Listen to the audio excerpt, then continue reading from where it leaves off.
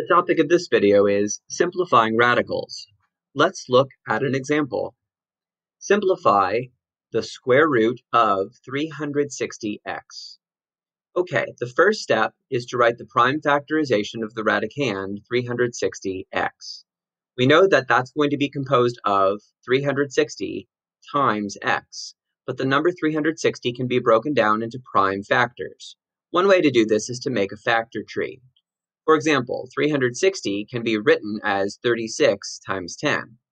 10 can be written as 2 times 5. 2 and 5 are both prime numbers and cannot be broken down any further. 36 can be written as 6 times 6, and each 6 can be written as 2 times 3. So at the end of each of the branches of our tree, we now have prime numbers 2, 3, 2, 3, 2, 5. These are the only numbers we need to write our prime factorization, and we write them in numerical order. There are three twos, shown here. There are two threes, and a five. And of course, don't forget about the x. So now we're going to simplify our radical by looking for groups of two, because this is a square root. There's a hidden two right here as the index of our radical. So these two twos form a perfect group.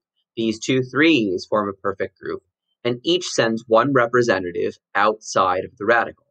But this 2 does not have a match, this 5 does not have a match, and this x does not have a match. So those stay under the radical. Now combine the outside things with the inside things. 2 times 3 is 6. 2 times 5 times x is 10x. So we get our final answer, 6 times the square root of 10x.